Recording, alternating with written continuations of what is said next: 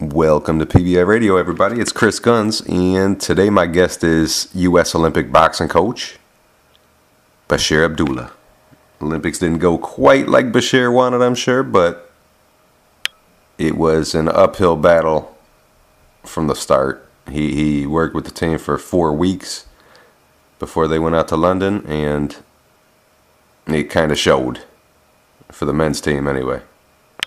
But it wasn't all bad because the ladies saved the day. And we're going to talk about the men and the ladies and how it was when Claressa Shields became the lone gold medalist for America. So let's not waste any more time and get Basheer Abdullah on the line.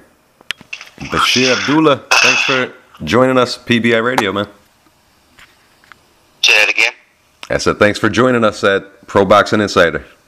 Uh, thanks for having me, man. Truly appreciate you know being your guest tonight. I appreciate you being here.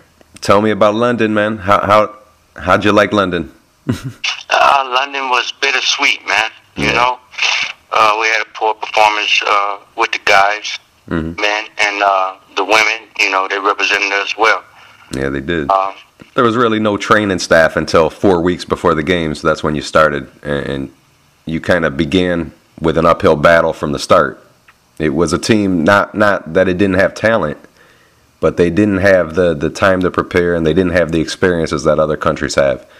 How did they approach you for that job, and and was it something that you wanted? Well, you know, at the beginning of the process, you know, this whole quad, I said I was going to, you know, sit on the sideline.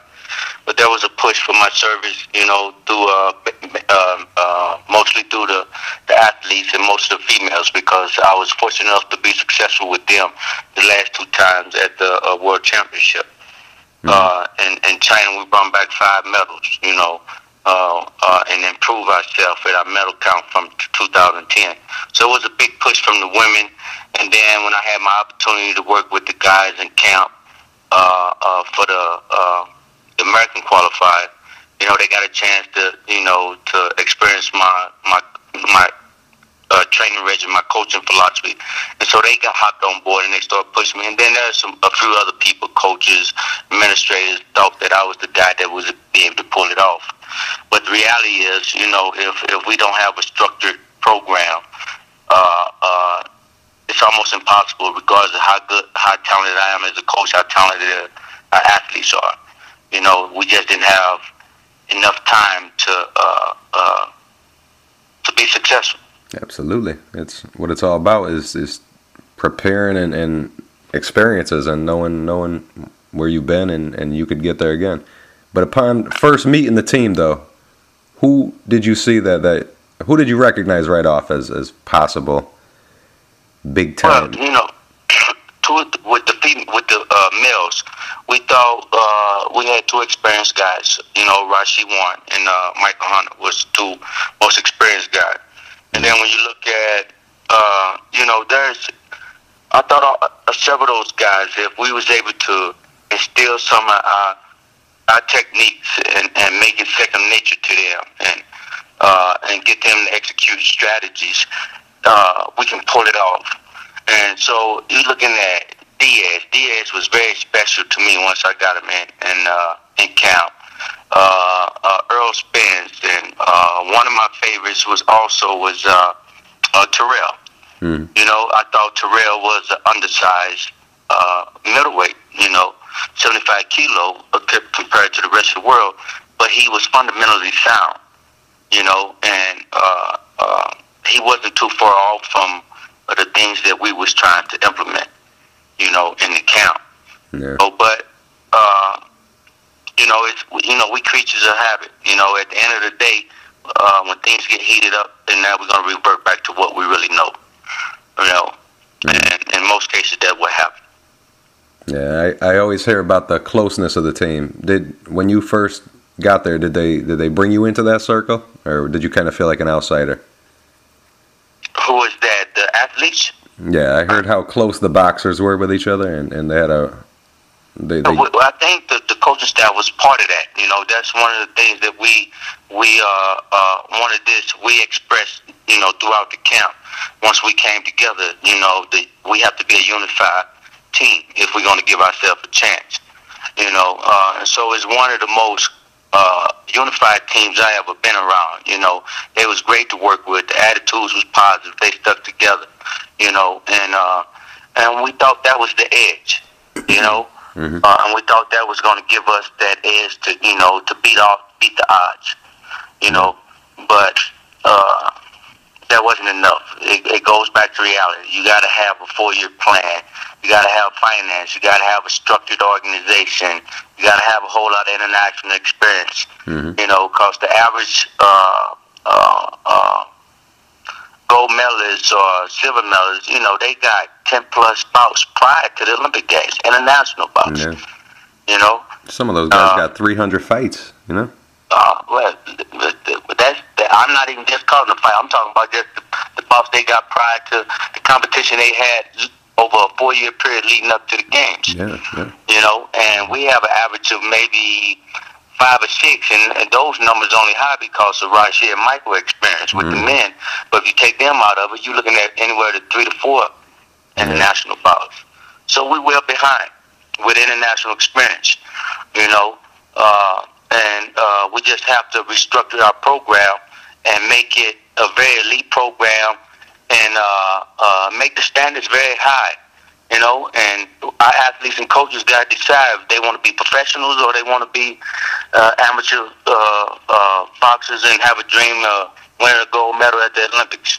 Yeah, yeah. So much you know? that has to be done. Um, so much, so much. How how was the flight to London? Uh, it was cool, you know. Yeah. But we was excited, you know. It was it was of course a long flight, but you know my mind never shut off. You know, mm-hmm. I was ready to go into this thing, you know. And my mind was constantly running, you know, trying to always find that edge for our athletes. Yeah. You know. You got and, uh, even though I wasn't working the corners or anything like that, but I still accepted the challenge, you mm-hmm. know. But again, you know, reality set in, you know you just got to have a structured program to be successful at the games. You know. That's right. When when you guys got to England, what did you what did you see? How how did you like how the British put that show on? They're known for that pomp and circumstance and putting on a big show. How impressive was it when you got? Oh, it was very. I mean, the, the the Brits was a great host. I mean, they was true boxing fans. The venue was full every night. The energy was high. You know, so and, and they was great. They didn't just cheer for uh, their athletes, they cheer for other countries as well. Mm-hmm. You know, even when they felt uh, bad decisions uh, was there, they let it be known, regardless of what country it was. You know, so they was a great host. They was great fans. You know, and it, it was it was very exciting to watch. You know, I would love to see our venues feel like that in the United States with amateur boxing. I'd love it. I, I love I love how England treats boxers and, and and the show that they put on when you watch boxing from America from the from the UK. It's always fun to watch. Did you right. what what did you do? I saw pictures of uh people at Amir Khan's gym and who else did you meet? Did you meet other big time British boxers? No, uh, Amir Khan was, you know, uh, was the only one I got a chance to meet face to face. You know, uh, uh, our gym was pretty much closed off to to everyone. You know, he was a great host uh, uh, I was very, we was very appreciative that he came by, you know, after his his loss with Danny Garcia. That you know he showed that he was a true professional, and uh, uh, that didn't prevent him from coming out and interacting with us and sharing his Olympic experience with our athletes. You know, so that that was great. That was one of the positive uh, part about this uh, Olympic uh, movement in London. That you know that you know he came out and, and was a first class guy. You know, all the way. Yeah, yep. And do you stick with your team throughout, or do you mingle with other people? Do you go and meet the other teams, the other boxers on the team? You know, I you know, uh, I, pretty much I, I know a, a, a lot. You know, I've been in this business for a while. You know, uh, but uh, I stayed over at the University of East London. I wasn't in the village. You know, so uh, even if I was, you know, I don't think I would have been, you know, interacting too much because I, I think my schedule would have prevented me from doing that. You know, my focus would have been on our athletes and, and uh, what we needed to do to uh, get in the ring and perform at our best. Yeah, how excited were Queen Marlen and, and Claressa going? This is the first uh, year female boxing was a part of the Olympics. Had to be excited. Oh, that that was a historic moment, man. You know, it's, it's a beautiful thing to watch. You know, those women, not just American women, but the women throughout the world. You know, uh, Katie Taylor. You know, mm-hmm. the energy she brought into that arena when she got into the ring was amazing, man. You know, you would think that that was uh, Mayweather Pacquiao mm-hmm. fight, you know, yeah. uh, that we continue to miss here, miss out on. But uh, it, it was exciting. You know, you would have to be there in that venue to feel all that energy and excitement and history that those women brought to amateur boxing. Yeah, I'm sure. Had to be exciting. And what do you what do you what do you think of Rau'shee Warren, first guy to make three Olympic U.S. teams and ended in heartbreak again, first round going? It, it was very sad because I thought, you know, uh, he put his heart into it. Uh, uh, he was a great leader. You know, he was a. He, I mean, he was an awesome team captain. He mm. pushed his teammates every day. You know, and shared all you know his past Olympic experience with them. He was very serious about it. You know, the only thing I think caught up with him was the weight. You know, I think he was at that weight too long. You know, uh, uh, and, and it caught up with him. You know, uh, you could tell once he got down I think it was around about 14, 114 pounds. His performance dropped off. Mm-hmm. You know, and the first time we saw it was in Bolton when he was sparring Diaz. You know, I never seen anyone have the best of Rau'shee like that mm-hmm. since I've known him and watched him spark. You know, so that was the first indicator that you know that he's just not the same uh, uh, boxer at that weight class. Yeah. You know. And was it was a controversial Olympics throughout, pretty much, and and Errol Spence had had uh, been declared the loser in his fight with the Indian kid Vikas Krishan, and then upon further looking at the video and stuff, they they they took they they gave they gave Errol four more points, didn't they? Yes, that is correct. Uh, then because after reviewing the video, uh, the committee saw that uh, uh, the Indian boxer had uh, held uh, Earl a total of nine times in, mm-hmm. in the third round. Yeah, in the third round alone. And, right, you know, but in the, in, in the third round alone. So, you know, we had counted, when we reviewed it, we thought we counted seven. And not only that, he intentionally spit out his mouthpiece, mm-hmm. and that rule state that uh, that should have been an automatic warning as well, rewarding Earl two more points. But they said that uh, uh, the nine holes that the the, the referee uh, ignored and didn't call, it, it, it was caused, you know, that we should have been rewarded two warnings, which gave us four points. They didn't give us any points for the mouthpiece because they felt that the referee was in a bad position to see that. Mm-hmm. You know, you know, yeah. but it worked out in our favor. You know, we got it overturned, but we, un- unfortunately, we wasn't able to take advantage of it. Yeah, it was it was an embarrassing Olympics for boxing and, and a few other sports too. The the Chinese teams come to mind, and, and the lack of, of real testing for Jamaicans was even brought up. What do you have to say about the boxing officials, the judging, and the refs, and how how ridiculous was it, Basheer? Well, we, we, I mean, I think it's one I think we had a black guy. You know, I'm a part of both of these organizations. You know, I even I consider myself a part of AIBA and USA Boxing. But we we still got to get it right. You know, uh, I think uh, we had a very bad showing. I think uh, uh, the percentage of uh, uh, uh, winners are still getting not getting a decision uh, uh, is too high. You know, the percentage of making the, the bad calls is still too high. We got to fix that. Now, I don't know.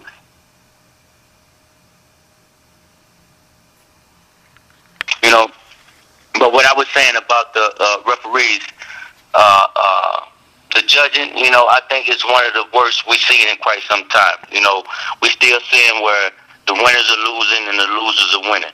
You know, and the percentage of uh, uh, bad decisions is still a little bit too high. Hmm. You know, I, I think our president, uh, President Wu, is, is working very hard and, and trying to clean those things up. You know, uh, but we just haven't got that yet. You know, and I'm a part of both organizations. I I consider myself a, a member of AIBA and USA Boxing. You know, because I, I I love amateur boxing, and and and I want us to to get it right. You know. Yeah. In both organizations, you know, because I, I would love to be around when uh, boxing get re- recognized as being a credible sport in the Olympic movement. You know. Yeah. So when they did, they they they overturned the rule, and Errol Spence actually won the fight after he already probably shed some tears after the loss and stuff. So it was kind of like an emotional roller coaster, probably for Errol Spence. It was. It was, and you know, and he had beat the Russian before, Mhm. you know, on a tiebreaker. And you know, it's funny, you know, we're talking about this because I looked at the bout the other day, and and and I thought that bout should have been a little bit more closer. Even had it, if you look at it several times, you might think Earl might have won it. You Mhm. know, Yeah. uh, if you count his body shots and all that. But then I go back and look at, at the things that we didn't do right, you know, and uh, uh, I always look at that. And uh, the game plan for, for Earl was to box move to the left, you know, stand on the outside shoulder, you know, and bagging that rushing up, you know, constantly bagging up. He did it, you know, to a certain extent, but I think he could have did it a little bit more. But when I looked at the tape, I thought Earl left it all in the ring Yeah. you know. Yep. And uh, and we, I, I, I was very pro, uh, proud of his efforts, but it just happened happened to be it wasn't enough, you know, to get him to win that night. Yeah, most of them all fought good close fights in, in their losses, except for Jamel Herring and Dominic Breazeale. But Errol was the only one that made it to the quarterfinals. That's got to Right. is just disappointing. But every everyone else had, had great showings. They just lost by maybe a point, three points. Right. Uh, we was we was in the bout, you know, and uh, I felt uh, if we would have had a little bit more time with those athletes, you know, I actually believe we need at least a minimum of six months. A, a team, a coaching staff need at least six months. And sometimes I don't think that's enough. uh, You know, because at the end of the day, you know, if if you was my coach for eight, uh, uh, uh, four to eight years, and then I go join somebody else, you know, when things get heated up, to I'm probably going to do the things that you taught me versus uh, the things that I I was trying to implement, and I mean you was trying to implement in a very short time. Mm-hmm. You know, so uh, uh, so we we just we gotta we gotta build from the, the bottom up. You know, so we gotta create a national uh, a system just like the rest of the world is doing. You know, you know I, I start I studied the Cubans a lot, and I always wanted to know what uh, Sagarra, what made him so successful. You know. And after studying and reading, doing research, you know, you know when he came, when he was named the, the head coach of the Cubans, you know, it was back in 1960 Mm-hmm. you know. And uh, uh, his first Olympics, you know, they only won, uh, they didn't medal, Yep, you know. And Yeah. then the second Olympics, he got a silver, that's it. you know. Yeah, And then the third, he got a gold. So he went through several Olympics before he was successful. But the Cubans didn't change. They didn't change their program. They could constantly build. It was a mm-hmm. long-term thing. yep, So with us, so you know, we get a bad performance, we throw all our experience out the window. yeah, You know, we always starting over. yep. That's true. You know, and we don't understand that that's not how you build a successful program. That's true. How deep? You know. How deep do you did, did you see the ladies of the world? Not just American ladies, of course, but from other countries too. How how deep are they? Are they? Oh, I, I think uh, you know, I think uh, the, they're going to add more weight classes. The women women boxing are excited. You know, let me show some of the difference between. You know, I'm glad we're talking about the women. Hmm. You know, and, and a lot of our elite coaches in America out here say the same thing.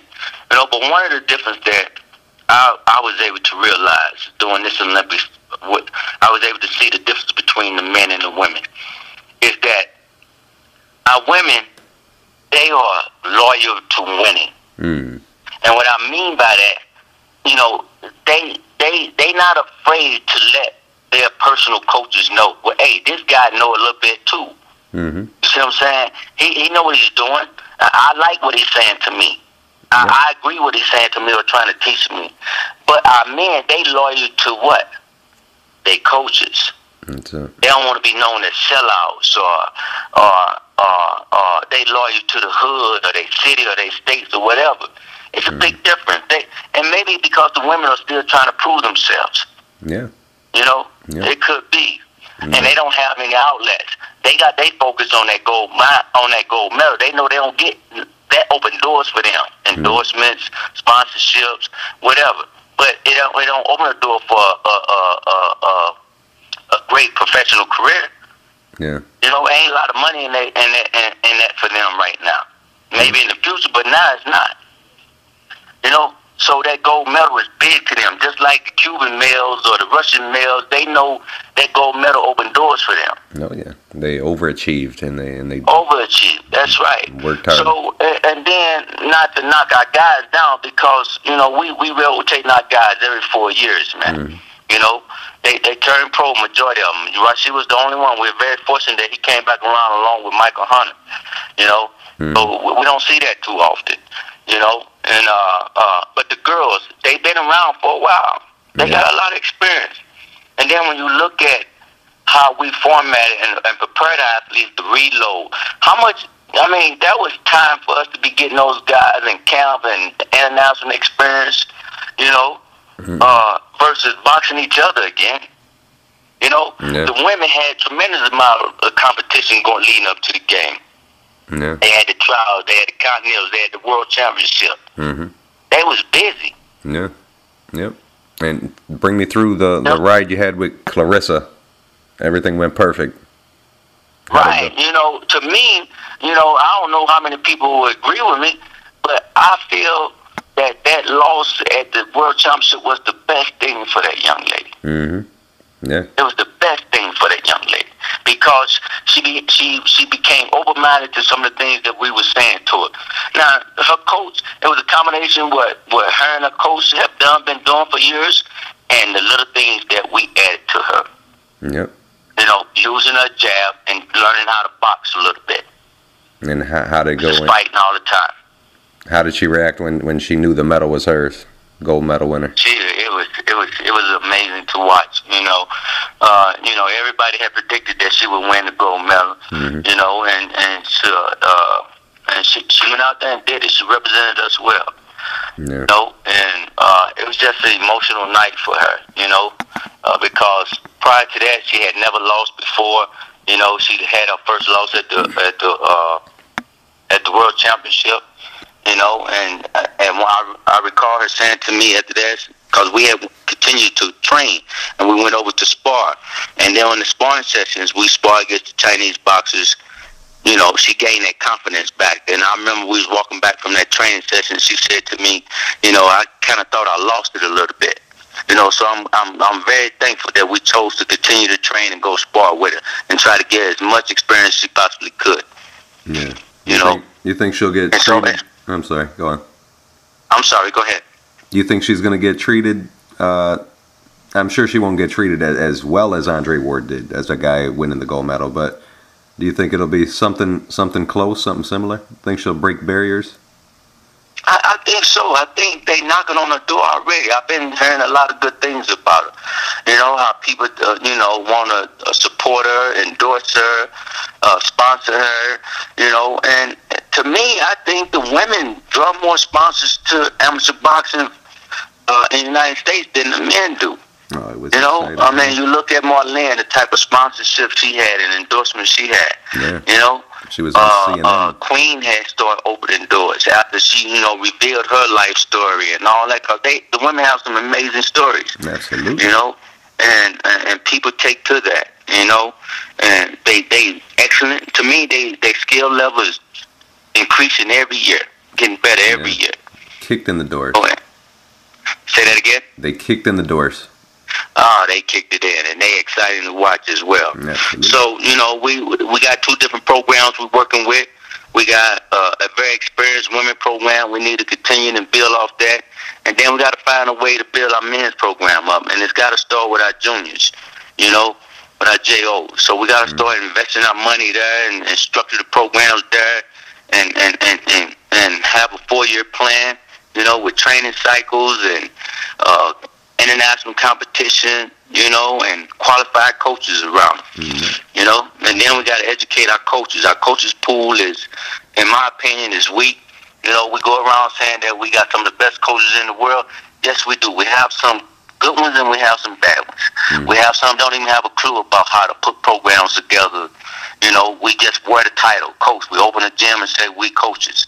Yeah. know, Anyone could but be. we we had no coaching development. Yeah. You know. Let me ask you, as a, as a boxing guy, how impressed were you with the the other teams, though the men teams? I mean, it's nothing that I I, I fear for our country. You know, uh, one of the things that you know, like we had the training partners out there, you know, and we had a little meeting with them, and we tried to, you know, get some feedback from them to see what they learned because hopefully they'll be our. Uh, uh, some of them will be some our Olympians in 2016. Mm-hmm. Know, Sean Simpson said, he said, we get baby too much in the United States. Yeah. yeah, yeah, it's true. That's what he said. And I was happy to hear him say that because he saw it. He understand when he said that to me. And uh, uh, and they realized that we fight, our, our pace is too slow in America. Mm-hmm. Okay? In amateur boxing, it's fast. Yep. It's fast. Yeah. And so we, we, I don't care what nobody say. We pick up too many bad habits when we're in those pro gyms and sparring with those pros. They don't help us for amateurs. Yeah. You look at guys like bad habits for us. guys like Kostya Tszyu from from Russia. He turns pro and he could pretty much win a championship. And guys today like Guillermo Rigondeaux from Cuba. You know, he, he's already a champion. Won his championship right. seventh pro fight. Right. So these guys come prepared. That's right. They come prepared, you know, and uh, you know, like I like let's take uh, and I and I love this kid to death, and I thought he was gonna have a good chance, and I thought, and that's uh, Jose Ramirez, you know, cause he's a beast. I think he's gonna be a hell of a pro. Oh yeah. You know, I think he's gonna be a hell of a pro. Yeah. But he had that pro. He he's already groomed for professional boxing. Mm-hmm. You know, when he came into the gym and we saw him, I said, if we don't get him to start faster, we're gonna be in trouble. Yeah. Yeah. You know. He didn't get He gets embarrassed. stronger. Third, third, fourth, fifth round, he gets stronger. Yeah. Yeah. But he put himself in a position, to, you know, if we would have had that, that, that third round and that first or even a second, he would have pulled it out. Yeah. All all our guys I think from from this class will will turn out to be better pros and I think they will too. I think they will too. I think we're gonna have some good pros out of this class, like Terrell, uh, Earl. I think I don't I, I don't know if JoJo gonna stay around. That's uh, Joseph Diaz, or he's gonna turn professional. But if he do, and if they move him right, because he's very young, you know, still. But I think he be one, and Ramirez is gonna be one. Mhm. You know. Uh, uh, I don't know. I know uh, Dominic was uh, uh, looking at turning pro, but I pray that he doesn't. yeah. Really do. He actually I don't think with he's ready. Sparred with No. the Klitschko's, didn't he? Say that again. Dominic got some sparring in with the Klitschko's, I heard, right? Did he, or is that Michael Yeah. Hunter? No, Michael Hunter used to go over there and Yeah. spar with the Klitschko. So yeah. You know, uh, uh, I didn't see the purpose of that hmm besides the financial purpose, but uh, I, I don't see anything that he he wasn't going to see anyone that big in amateur boxing. You know, Yeah. you know. So That's why uh, I'm thinking they'll be better pros than they, they are amateurs. They're already being treated like like pros pretty much. They were trained a lot. Yeah. Exactly. So hopefully by the Oh. next Olympics you'll have time to to put your put your stamp, the Basheer, uh, you know, the Basheer stamp on them. what, what do you? Who, Well, I'm, I'm just asking for an opportunity, you know, for opportunity. Give me four years, you know, if and, and let me get the financial support, the leadership support, a unified organization. We all traveling down the same path. You know, I don't know any organization is going to be successful just divided.